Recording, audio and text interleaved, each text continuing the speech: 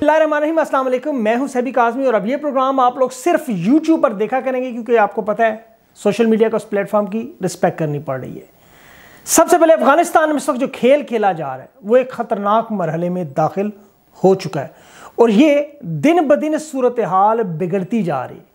इकतीस अगस्त की तारीख करीब आती जा रही है, जिसमें आपको पता है अफ़गानिस्तान से अमेरिका ने मुकम्मल तौर पर इनखला करना है। और उसमें जो अभी हालिया अपडेट्स हैं पहले मैं आपको कुछ उसकी झलकियाँ बताता हूँ और फिर बात तफसील से करते हैं। तालिबान ने अफ़गानिस्तान का जो बॉर्डर पाकिस्तान से लगता था उसे मुकम्मल तौर पर बंद कर दिया और पाकिस्तान ने भी तर, इस तरफ़ से बंद कर दिया तालिबान ने कहा जी कि हमारी जब तक ये डिमांड्स यहाँ मुतालबात पूरे नहीं होते हम इस बॉर्डर को नहीं खोलेंगे। वो क्या मुतालबात है मैं बताता हूँ। महाजरीन की एक बड़ी तादाद जो वहाँ पर मौजूद है और अमरीका चाहता है कि इलाका सारा वहाँ खाली हो जाए ताकि वहाँ खुलकर वो बम्बारी कर सकें। Heavy duty B fifty two bomber तैयारी कर रहे हैं और एफ़ सिक्सटीन तैयारों के साथ। अच्छा ये कतर की सेंट्रल कमांड का पूरा एक बड़ा सेटअप बना हुआ है। वहाँ से ये उड़कर मशरक और जनूब अफ़गानिस्तान में शबरगान और जोजगान और लश्करगाह में, जो कि हलमंद में वाक़ हैं, वहाँ पर ये कारपेट बम्बारी कर रहे हैं। और इनके साथ इस वक्त ए सी टेन स्पेक्टर गनशिप्स ये भी मौजूद हैं। और यहाँ पर अफगान तालिबान का कब्ज़ा बड़ा मज़बूत है। इन इलाकों में ये चाहते हैं कि अमेरिका इकतीस अगस्त से पहले पहले से मुकम्मल तौर पर साफ़ कर दे।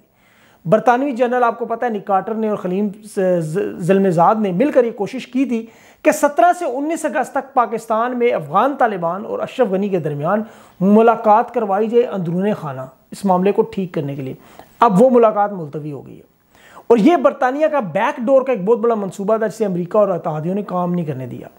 दूसरी तरफ़ यह कोशिश भी हो रही है कि अशरफ गनी को इस्लामाबाद में एक खुफिया दौरे पर बुलाया जाए और उनकी वहाँ पर अफ़गानिस्तान की रहबरी कौंसिल के साथ बिठाकर मुलाकात की जाए। तालिबान की जाने से अफगान तालिबान, मुला याकूब सराजुद्दीन हकानी इस मीटिंग में आ सकते हैं। और ये मीटिंग 11 अगस्त को पहले दोहा में अकवा मुतहदा यूरोपीय यूनियन, कतर, तुर्की, ईरान, पाकिस्तान और अफगान तालिबान की महबैन थी अब इसमें से आपको पता है हिंदुस्तान का नाम निकाला गया, जिसका बदला अब हिंदुस्तान ने लिया किस तरह? कि जो सलामती कौंसिल का बड़ा अहम इजलास था, उसमें से जानबूझकर पाकिस्तान को निकाला। हालाँकि अफ़गानिस्तान पे सारा दूसरी तरफ़ अमेरिका एक नई गेम कर रहा है, वो गेम है अब्दुल्ला अब्दुल्ला। और वो जो आपको पता है, इनकी वादत की जो लीडर है, उस्ताद महक, उस्ताद सयाफ, सबक सदर यूनस कानूनी और हाजी बातूर उजबक लीडर अब्दुल रशीद दोस्तम और इसमाइल खान अता नूर इन सब लोगों को मिलाकर अफ़गानिस्तान की हुकूमत से जोड़ दें।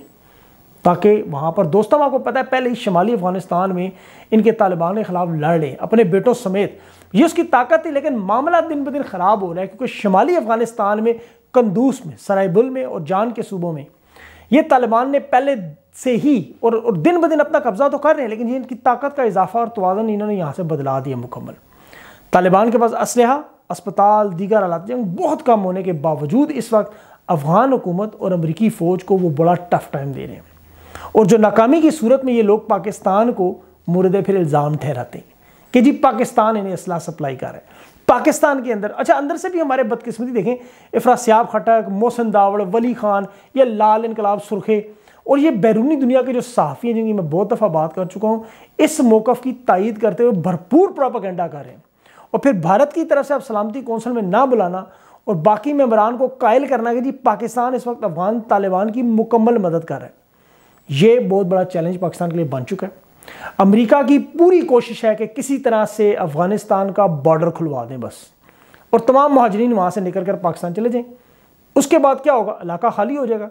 और वहाँ पर ये फ़जाई हमले कर करके इसको अफगान तालिबान को ख़त्म करना चाहते हैं। जाते जाते इस तरह के भरपूर हमले करना चाहते हैं, जिस तरह चिराग आपको पता है, बुझने से पहले उसकी लू में इजाफा होता है।